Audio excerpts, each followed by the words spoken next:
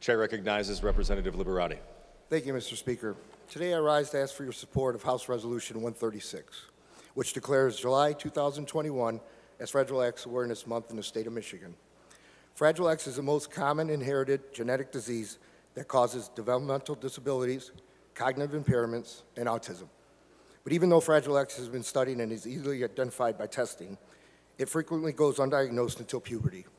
Early intervention and therapy are necessary to provide the most opportunities for people with Fragile X, to develop a full range of skills and behaviors. My nephew and godson Antonio has Fragile X, so I've seen firsthand the damage this disease does, not only to the person who has it, but to their family and friends.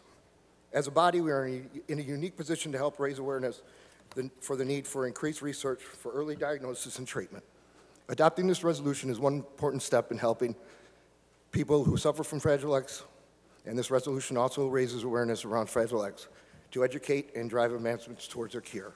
I encourage all my colleagues to take this step with me and ask for your support. Thank you. Thank you, Representative. The question for